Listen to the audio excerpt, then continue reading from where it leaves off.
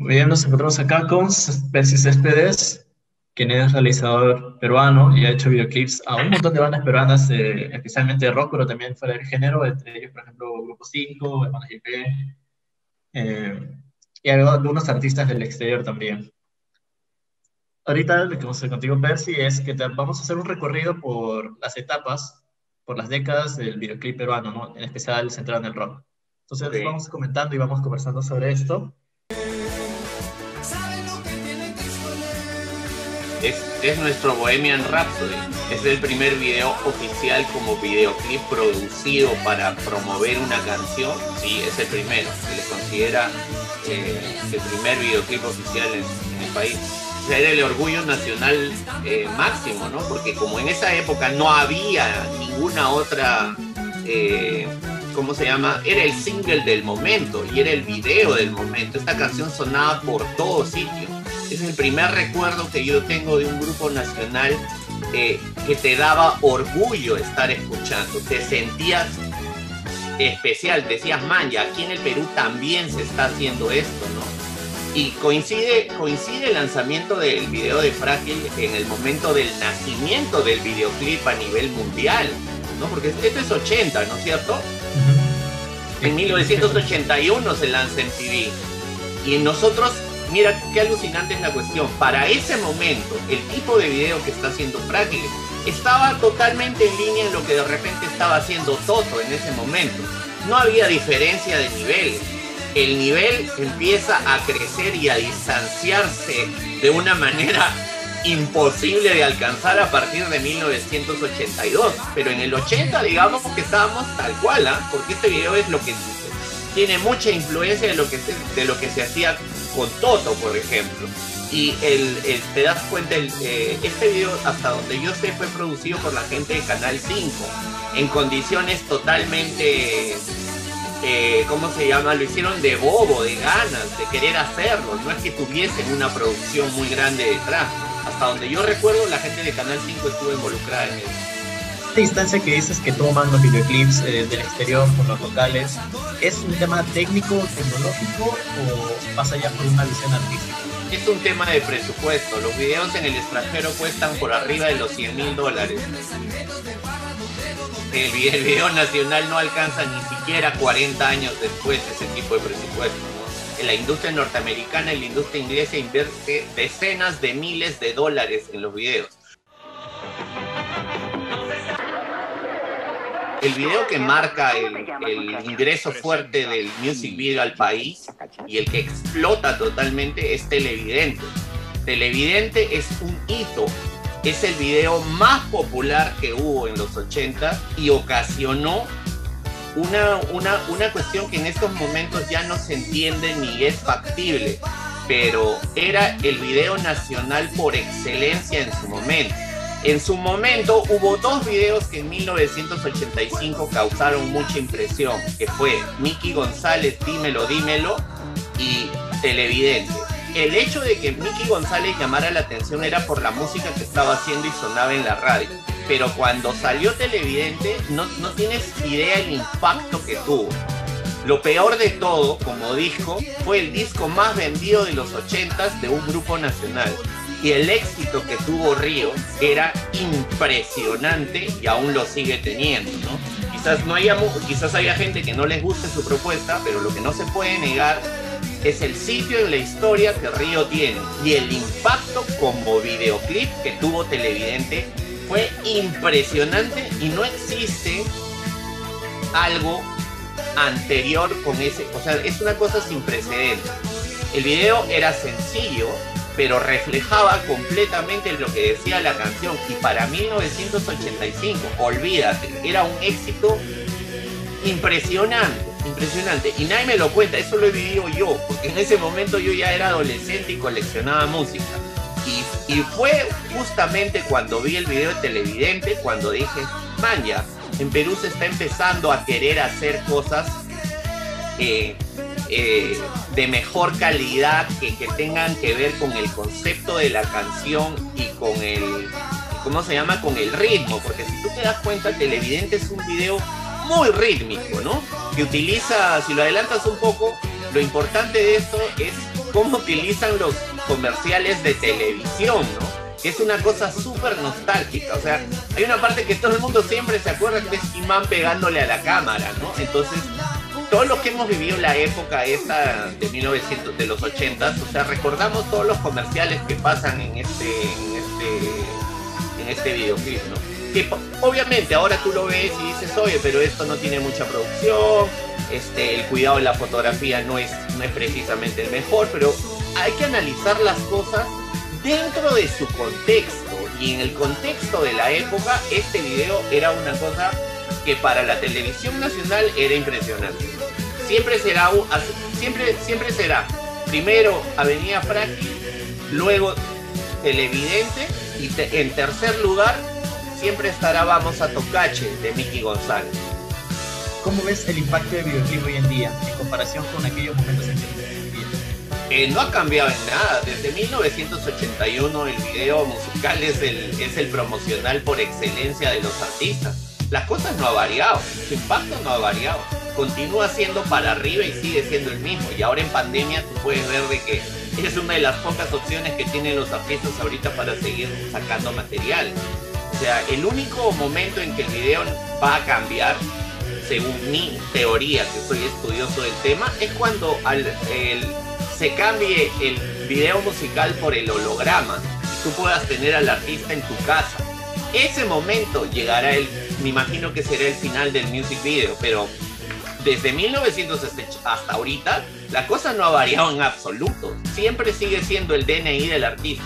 Pero podríamos hacer la, la apreciación de que en Perú recién le han empezado a tomar importancia el video a partir del 2000. Antes no, le, no, no había esa preponderancia y eso que el otro. Y la verdad es que sucedió por la invasión que tuvimos en, en canales internacionales del 2000 al 2005. La época dorada del video nacional en el extranjero es del 2000 al 2010. No es ni antes ni después. Es la época en que más se produjo y, que más producto nacional ingresó a canales internacionales de una manera, pero así como y fuertísima, ¿no? Entonces es una década súper especial lo que se produjo del 2000 al 2010.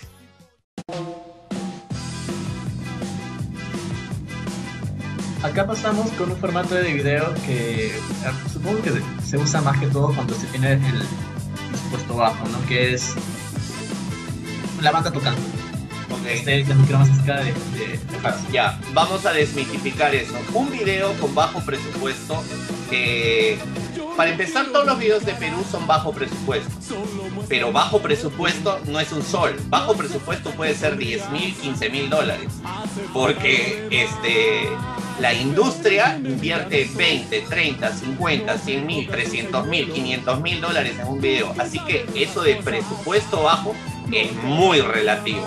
Obviamente, el video que tú me estás mostrando es un ejemplo de los videos más baratos que existen en la historia. Esto no tiene ningún tipo de producción, es simplemente un camarógrafo, la gente es, este, ¿cómo se llama? Tocando. Pero eso no significa que un video de un grupo tocando sea el más barato. Eso es totalmente inexacto. Yo he filmado N cantidad de videos donde solo sale la banda tocando y no hay nada más. Y son probablemente los videos más caros que se han hecho en este país, con un valor de 300 mil dólares de producción. Eso no tiene nada. Si tú ves un grupo tocando, no significa que el video sea barato. Este video es barato por la concepción, por la calidad de imagen, por la falta de producción que tiene. No obstante, hay que decir que este es un video histórico y que en su momento, a pesar de, que, que pareciera que no hay nada, este video se sostiene por la actitud del grupo. En ese momento, Haas era un grupo que estaba súper posicionado y un poco la rebeldía de hacer esto es lo que llamaba la atención. Ahora, esto derivó en qué? En que los, muchos grupos cumbiamberos de los noventas agarraran y se filmaran en un parque o en cualquier sitio y eso sí fue decadencia del género. Pero yo diría que yo no quiero más ska es un video clásico de rebeldía que puede parecer eh, muy económico, pero el público tiene que entender que ver un grupo tocando no significa que el video sea barato.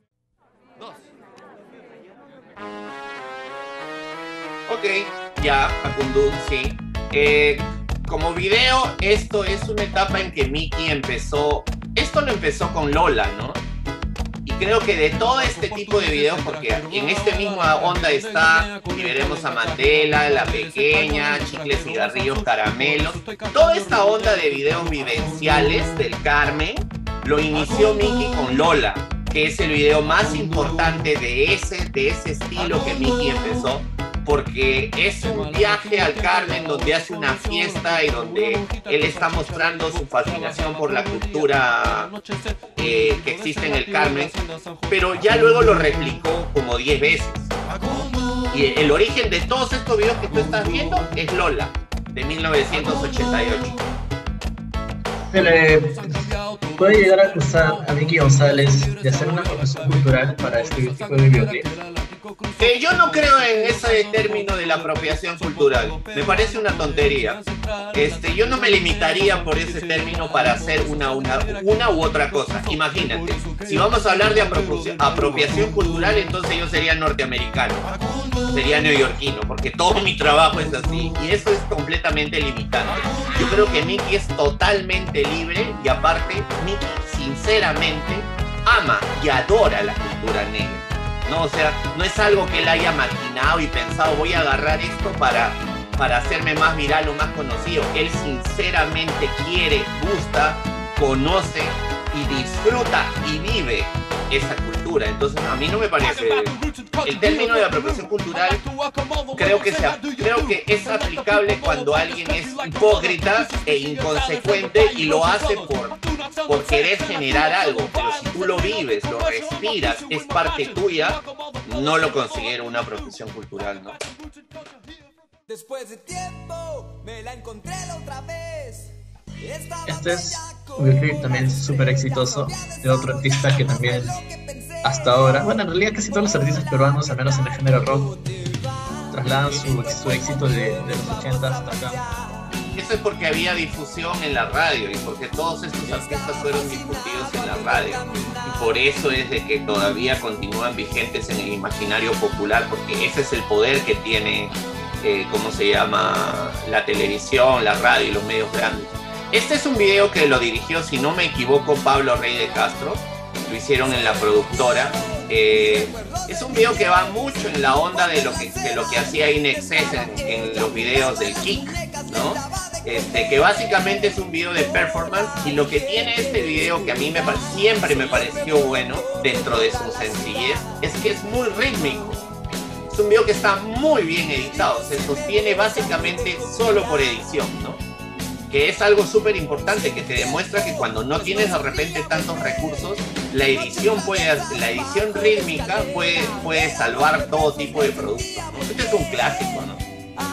Y Pedro Suárez es un artista que, o sea, por ejemplo, ha cambiado mucho, no tanto él quizás, ¿no? sino la época ha cambiado y lo mira distinto.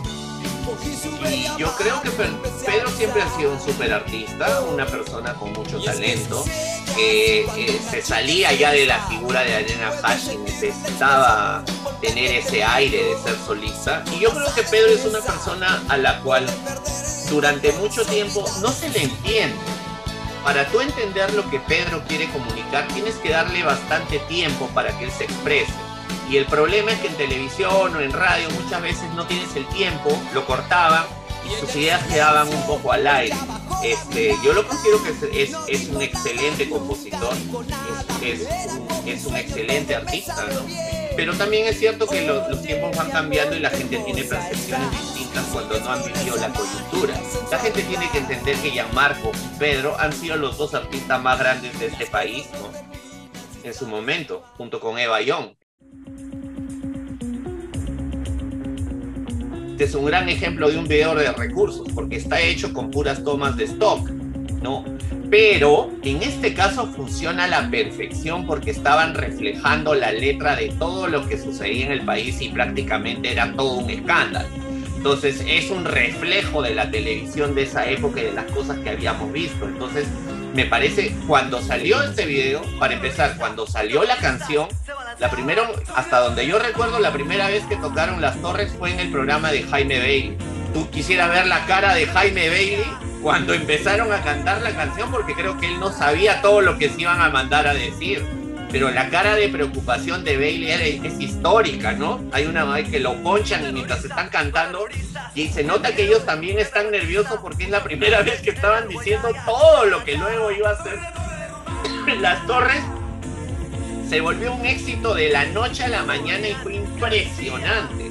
Los no sé quién no sé cuántos ya eran bastante conocidos. Eran bastante conocidos en el circuito de tocadas, porque ellos tenían una canción muy popular que era Magdalena. Ellos llamaron mucho la atención dentro del circuito alternativo cuando salieron, pero en las torres lo que los catapulta de una manera impresionante.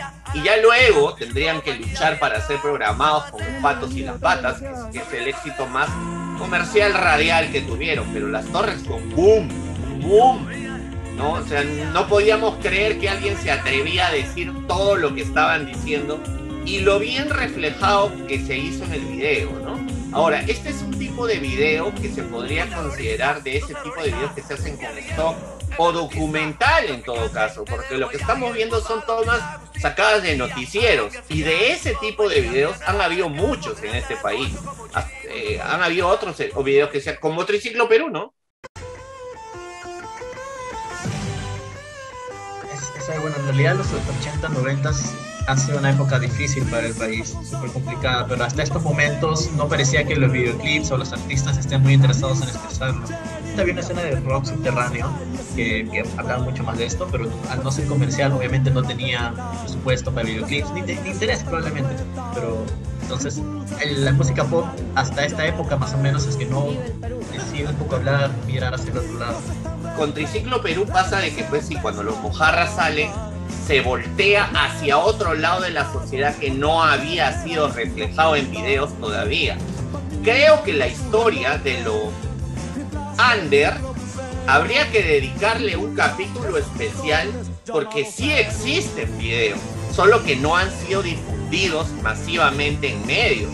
Pero yo sí recuerdo haber visto videos y no sé, se me, se me va a escapar ahorita de, la memoria todos los que han sido, pero ha habido una corriente de videos que nunca fueron programados en canales grandes y que de repente sí los programaron Canal 33, Canal 27, cosas en UHF y por eso es que no han llegado a ser conocidas.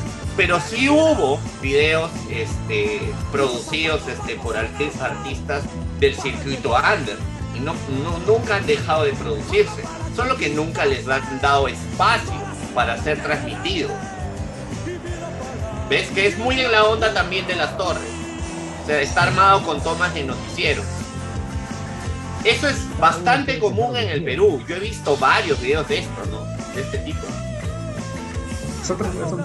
Pero es bacán tener, escucha, es bacán como en esa época, o sea, estos son documentos históricos del reflejo del momento del país, ¿no? Entonces, esas cuestiones son, son, muy bacanes a nivel eh, retrospectiva. No creo que haya que analizar la calidad técnica del video, sino en este caso el valor documental, Creo que todo lo que me has mostrado tiene un valor documental muy fuerte, más allá de lo técnico. Como te digo, lo técnico no empezó a evolucionar hasta el 2000.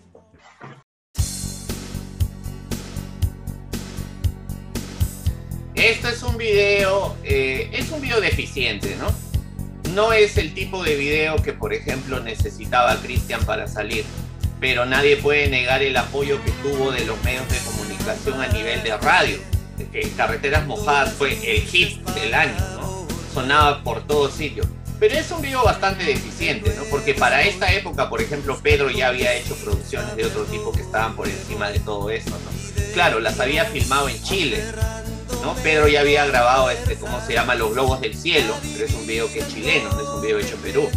Este, yo diría que eh, mejor video en esta misma época es el video de Diego Berti, de cómo se llama, Qué difícil es amar, que tiene mucho mayor valor de producción que el video que me está mostrando ahorita. En su momento también te diría que Carreteras Mojadas como video no llamó la atención en absoluto. El video de Diego Berti sí, pero no se puede negar el impacto del hit que fue Carreteras Mojadas en su momento, ¿no? Sonaba en todos sitios, en todo el Perú. Pero en ese momento se adolecía de eso. No habían propuestas que estén a la altura del single, ¿no? Y eso sí le pasó a Carretera Mojada, pudo tener un mejor video. ¿Tú crees que fue una cuestión de presupuesto o de imaginación? No, no tiene que ver ni con imaginación ni con presupuesto. Tiene que ver con que Cristian no consiguió a la persona adecuada para hacer un video. Porque para hacer un video tienes que ser un director de videos musicales. Y en esa época no habían directores de videos musicales. El primer director de videos musicales que sale al mercado soy yo. Antes de, antes, antes no había nadie. Antes habían personas de publicidad que hacían videos musicales porque querían desahogar sus demonios, pero no había gente especializada en hacer videos musicales. Habían estos tipos de, videos. Los que se hacían porque alguien tenía un contacto y los ayudaban a hacer, caso Canal 5 con, este, ¿cómo se llama? Avenida Largo.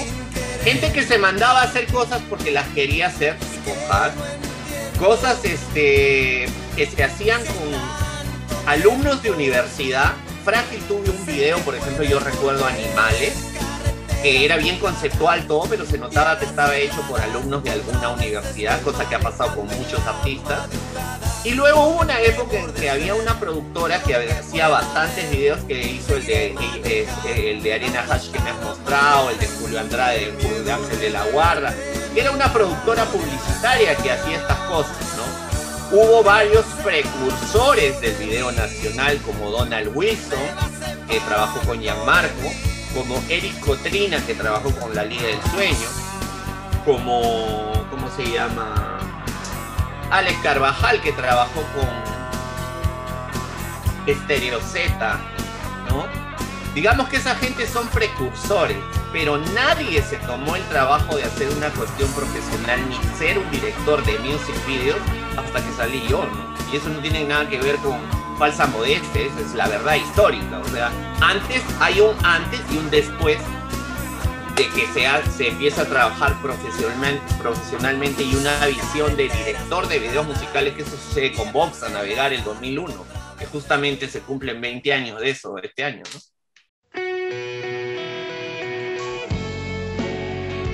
Y ahora sí, pasamos, bueno, esto ya es la década del 2000. Sí. Este video es en esta habitación. Este video lo hizo Piki Talarico, que es un argentino muy famoso. Pero para esto nosotros ya habíamos entrado en TV con Set, ¿no? Con la casa de los gritos. Con ojos de ángel también. Obviamente tú ves acá, este video está filmado en cine, este video tiene una dirección de arte, este video está filmado por un profesional, esto ya es otra cosa, pero sigue siendo filmado por un argentino, ¿no? Pero aparte esto está basado en un video que no me acuerdo cuál es el grupo, hay un video que es igualito, eh, que es un grupo de chiquipunk este, estadounidense, pero es un video que donde tú, pues, ya ves acá un tratamiento de imagen, el cuarto está producido, esto no es una locación, es un cuarto producido, ¿no? O sea, tiene un tratamiento que ya sabe a un video profesional. Y, pero esto no es el primero, porque esto ya lo había hecho Pedro antes. Pedro ya había filmado en, Chile, como te digo, Los Globos del Cielo. Él había hecho, este, ¿cómo se llama? Para empezar, Pedro el 96 o 97 graba con Simón Brand.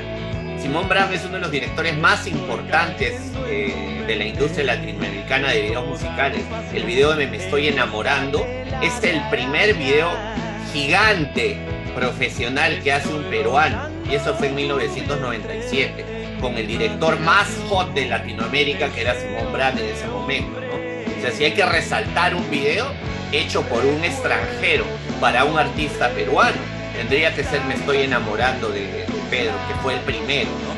O sea, el video de Lívido, el de En esa habitación, es un excelente trabajo de otra categoría, no es tan grande como, como Me estoy enamorando, ni es un director tan importante como Simón Brand. Ojo que Piqui Talarico es un súper director, ¿ah? Ha trabajado con N cantidad de gente y yo creo que Livio tomó una excelente decisión en ese momento de tener que contratar a, a, Larijo para lanzar el single de su nuevo álbum, porque es a partir de acá que ellos empiezan a ser ya ultra conocidos. Yo creo que, la verdad, yo no creo que este fuera el que le diera la reputación internacional. La reputación internacional se lo dio el video de Tres, el video de Frágil el video que es rosado y el video de, no me acuerdo cómo se llama la canción que graban en, ¿cómo se llama? En un una montaña. Este, esos tres son los videos que internacionalmente posicionaron a Livio. Esta fue la canción que pegó más acá, pero los videos como videos musicales, los que los posicionaron afuera, fueron tres, Frágil, y no me acuerdo cómo se llama la otra canción, que era, fue el último single. Cabe resaltar que todos esos videos no fueron grabados en Perú, fueron grabados por extranjeros. Misma década, Zen, quédate. Quédate, sí, más o en este caso, tú fuiste el director. El mismo año. Claro, este es probablemente uno de los videos más sencillos que he realizado en toda mi carrera. ¿no? Es básicamente, como te digo, el, el, formato básico de grupo tocando. No hay más, porque hay que expresar la canción, es lo que necesitaba. ¿no? La canción es triste, melancólica, y lo que está pasando acá es que eh, lo que se narra es que todos están incómodos. No se sabe si porque la chica estuvo con el bajista o con el baterista o con el guitarrista, pero ha habido una relación que incomoda ahí a los miembros del grupo. De eso trata el video. ¿no? A pesar de que es un video súper sencillo, fotográfico, la edición es súper impecable y creo que eh, es, es lo caso, ¿no? Porque este video no se iba a hacer, la canción no se iba a lanzar y terminó siendo el hit más grande de Zen, ¿no? Zen es un grupo que hace rock, hace rock, ¿no? Pero la gente tiene la idea de que es un grupo de baladas y básicamente es por Sol y por esta canción, ¿no? Entonces, este, pero Zen tiene otro lado, mucho, muchísimo más fuerte que, que lo hicieron. Por ejemplo, para resaltar videos de Zen conmigo, Desaparecer es uno de los mejores videos que se ha grabado en el país, ¿no? De performance de un grupo y solo es el grupo tocando. Y el año pasado que lanzamos Confusión, volvimos a demostrar la potencia de lo que es Zen en pantalla. Ahora, es algo interesante que, ya que hablábamos de la exposición internacional, conversando con Joan, él mencionaba que sí, Zen logró exposición internacional, videoclips, música en esta época, sin embargo, no le funcionó tanto, no le fue tan útil. Es decir, porque en ese momento no te podía distribuir su música en el exterior, entonces no, o ¿qué importaba que lo escucharan afuera por la tele si pues, no podía vender? ¿no? Ya, pero eso tiene que ver con la comercialización y con el manejo empresarial de cada artista. Eso no tiene que ver con la, la difusión. Porque gracias a esa difusión fueron N cantidad de grupos los que se difundieron y formaron, obligaron a los medios nacionales a que tocaran música nacional y se formó una movida. O sea, el capitalizar o no capitalizar tu exposición tiene que ver con tu manejo del negocio. De repente Zen no lo pudo capitalizar. TK lo recontra capitalizó. Lívido también. Adamo ni, ni, ni, hablar. Ninguno de los tres lo capitalizó tanto como Adamo, ¿no? O sea, no tiene, o sea, el manejo que tenga cada artista sobre las oportunidades que tiene no se pueden comparar con las oportunidades que otro hizo o no hizo. Eso tiene que ver con coyuntura, capacidad de negociación, oportunidad, contactos, suerte y muchas cosas. O sea, si el punto es decirte que salir no servía, no es cierto. Obviamente expuso, para empezar, le torció el brazo a la radio. Y no solo pasó en Perú, porque a partir del éxito que tuvimos en MTV, N cantidad de artistas ecuatorianos vinieron a filmar acá a Perú por la misma razón y sucedió lo mismo en Ecuador. La radio fue obligada a tocar todos los productos que salían en MTV. Lo que sucedió con MTV es una cosa irrepetible, no va a volver a suceder y fue una cuestión monstruosamente grande porque el producto era expuesto a 17 países. Los videos rotaban todo el día y específicamente los grupos que trabajaron conmigo llegaron a lo número uno de los rankings. Yo he tenido 40 número unos en canales internacionales. Hemos estado dos veces, y esto no le ha pasado a ningún director latinoamericano, hemos sido dos veces video del año. El 2009 con En tus sueños de Adamo y el 2010 con Joana Carreño, la ecuatoriana, con Don't Stop. Nunca ha sucedido en la historia de MTV que un director peruano tenga dos veces consecutivos el, el, número uno. Es más, no existe ningún director latinoamericano que ha tenido el número uno. Para que veas el poder y el impacto que tuvo en su época el producto producido aquí en el Perú. Este video está mucho mejor eh, planteado, captura la esencia del grupo, la rebeldía, lo que es en concierto, eh, y aparte que es uno de los mejores trabajos de Gustavo, ¿no? Por lo que yo puedo ver, es que tu selección es de videos alternativos, de producción alternativa, no de producción profesional, pero reflejan totalmente una época, un mercado, un estilo, y la verdad reflejan bastante la realidad de las posibilidades más cercanas de un artista nacional. ¿Por qué? Los artistas no tienen la posibilidad de poder invertir en productos profesionales. Es muy complejo. ¿Por qué? Un video profesional no te cuesta menos de 15 mil dólares el más sencillo. ¿No? Entonces, no es una cantidad de dinero que pueda invertir así fácilmente un artista. Por eso mismo, y ahora peor que estamos en pandemia, nosotros como empresa hemos sacado una iniciativa que se llama El arte no puede detenerse, para que justamente todos esos grupos que no cuentan con un presupuesto grande, que se quedaron atascados en pandemia y tienen un capital, puedan acceder a nosotros y ser asesorados para tener un video que a pesar que no cuente con muchos recursos, se vea y se sienta profesional. Porque no o hemos avanzado tanto durante estos 20 años, hemos logrado tantas cosas elevando el nivel del producto nacional que ya no se pueden hacer videos de, que no sean profesionales porque están bajando el nivel y el estándar de la producción. Entonces, de alguna manera, responsablemente hemos abierto esa área para todos los nuevos y todos los que no cuentan con las posibilidades de artistas más consolidados para poder lograr tener un video profesional. Que es algo que yo lucho durante hace más de 20 años porque sucede en este país. ¿Qué, por ejemplo, qué, qué, qué aporte ha faltado de parte del Estado? Ahí. Ponerse los pantalones y hacer las cosas que tienen que hacer porque la ley ya existe. La ley dice que hay un 10% de producción nacional que tiene que ser difundida en los medios y los medios se zurran en la ley y no la cumplen. Y ponen, eh, ponen eh, ejemplos bastante estúpidos como, como decir que ese 10% de producción nacional sí la cumplen porque el escritorio es peruano, porque la secretaria contratada es peruana, porque el locutor es peruano, cuando el insumo es la música. Por eso es que indignados con la cantidad de música que tiraban a la basura, porque eso es cierto, la cantidad de metidas de rata que le han hecho a tantos artistas, la cantidad de CDs que han tirado a la basura después de reuniones llenas de mentiras y pedidas de plata bajo la mesa. Nos estábamos hartos de cómo se trataba así el artista, una cantidad de personas en las que tengo que destacar a Walter Cobos, que es el que encontró, el guitarrista de Voto, que al ser abogado es quien encontró el vacío legal en la ley.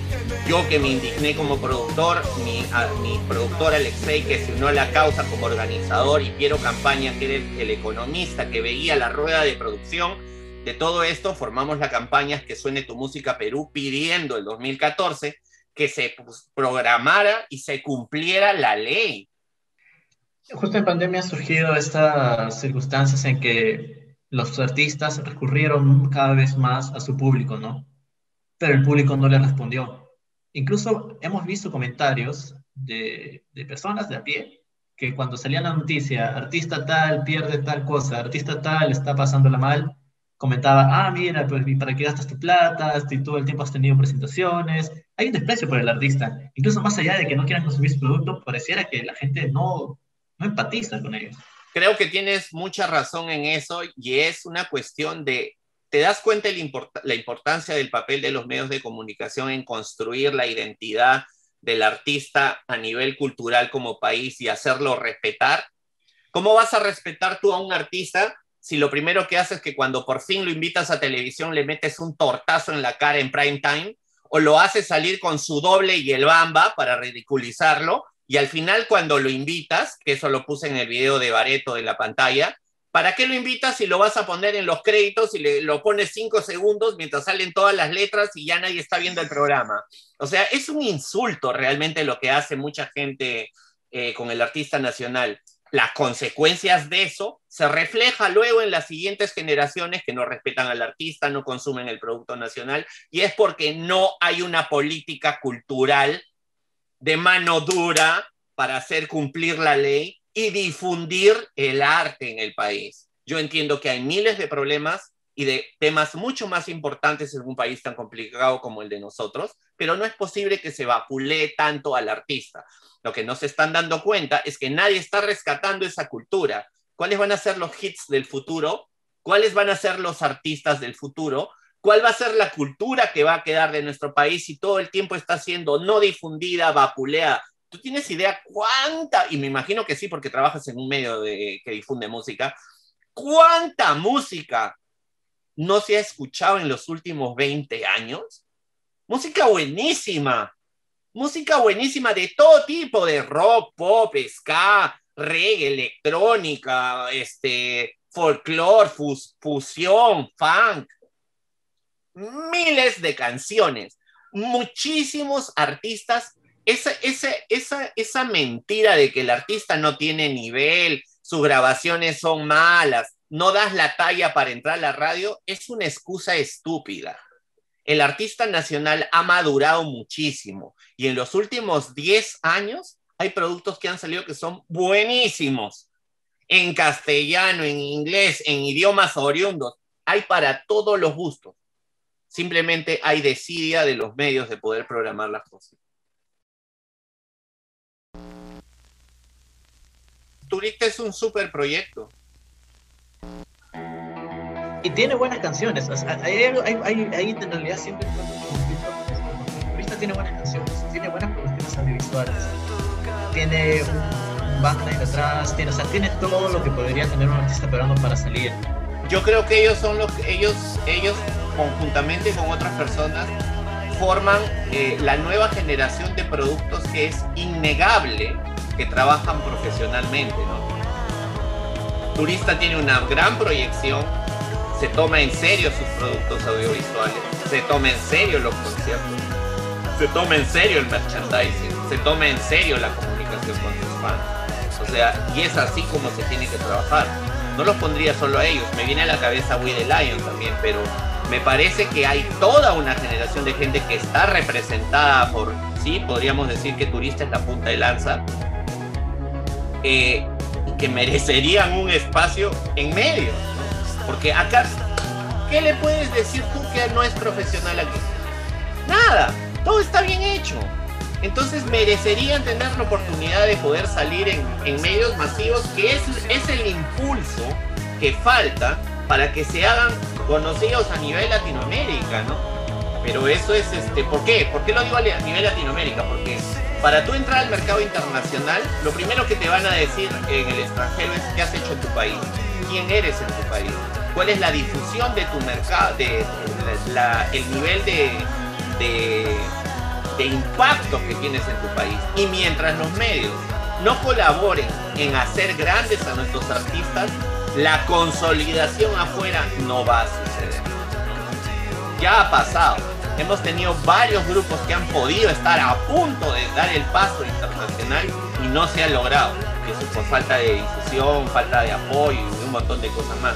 Los dos únicos artistas que yo conozco que la han logrado es Gianmarco y Pedro. Le guste a la gente o no le guste, Gianmarco le compone a medio planeta y es el único que trabaja en la industria real. ¿no? Y Pedro en su momento llegó hasta ser firmado por Warner España. ¿no? Eso no es cualquier cosa. El firmar con una transnacional no es una cuestión, no es una cuestión fácil. Así que si los medios no apoyan al producto nacional, pues mucha gente que está haciendo bien las cosas no van a poder resaltar, ¿no? Acá aprovecho, justamente hace un toque mencionamos a Zen, que hizo su colaboración con Daniel Alcour. Daniel Alcour es un artista que sí tiene transmisión en medios masivos. ¿Este es el camino, por ejemplo, una alternativa que deberían adaptar los artistas? No, este, lo que hizo, lo que hizo, este, tú no vas a, no, no porque haya funcionado esa, esa, ese featuring, significa que ahora todos los artistas van a tener que hacer featuring con alguien conocido para que los toquen. Eso no es el camino natural ni real de la cuestión. El camino es que los medios tienen que programarlo y lo van a tener que hacer. Si no lo hacen porque por una cuestión natural, pues tiene que haber una ley que lo imponga porque ya no da para más. El nivel de corrupción de este país no da para que las cosas sucedan porque ay, qué bonito sería. No, ya en este país hay que tomar acciones, eh, hay que tomar acciones contundentes con respecto a la programación de cosas porque la gente se está muriendo, ¿no? O sea, es injusto lo que sucede para el artista nacional. Y esto no tiene nada que ver con los videos, ¿ah? Estamos hablando del tema de la música, netamente. No tiene nada que ver con el tema de los videos. Porque en algún momento, cuando se hizo la campaña, decían, claro, lo que pasa es que Percy quiere más videos. Eso es imposible. Yo solo produzco 13 videos al año. Humanamente es imposible hacer más. Porque haya una ley, no van a venir a buscarme. Eso no va a suceder. Lo que se necesita es que programen a los artistas nacionales. No tienen en qué trabajar. No hay presencia cultural. El país no conoce a sus artistas. Como tú mismo has dicho, no hay respeto por los artistas. Obviamente, si no los difundes, tú no promueves el respeto y el consumo, pues no va a suceder. Vale, Percy, muchas gracias por, o sea, porque nos, más allá de que nos has dado la entrevista, nos has dado un montón de información chévere que totalmente, no, gracias a ustedes. totalmente desconocía y varios mitos que has roto acá, al menos de, mis prejuicios, de, de, cosas que aprendí mal probablemente en algún momento. Y creo que eso también le puede llegar a servir a la gente, ¿no? sí, mira, la, cosa es poder informar y creo que parte de lo que has seleccionado tenía ese, ese espíritu. Tú querías romper ciertos mitos, querías información sobre cosas que no todo el mundo tiene, ¿no? Y, y mira, yo, me, yo, yo empecé esto estudiando estas cosas para luego convertirme en el productor que iba a ser en el futuro. Así que de primera mano te he contado cosas que yo he visto, he vivido y, y he vivido toda esa es más, o sea, todos estos videos que tú ponías eran los que yo veía y cuando yo salí dije, tengo que superar la valla, ¿no? Porque veo que lo hacen independientemente, lo hacen, por ejemplo, hay mucha gente que no has mencionado que también hizo cosas alternativamente. Hay un grupo de gente que se llamaban los antifilms, que le hicieron videos a Rafa Raes, a Psicosis, este, que yo, escucha, sus videos podrán ser de muy bajo presupuesto, pero lo que yo veía es que tenían mucha onda y muchas ganas de sacar adelante este, el medio musical, ¿no? Entonces me parece importante, por ejemplo, me parece importante resaltar el trabajo de todos los precursores que trabajaron en su momento por el video nacional.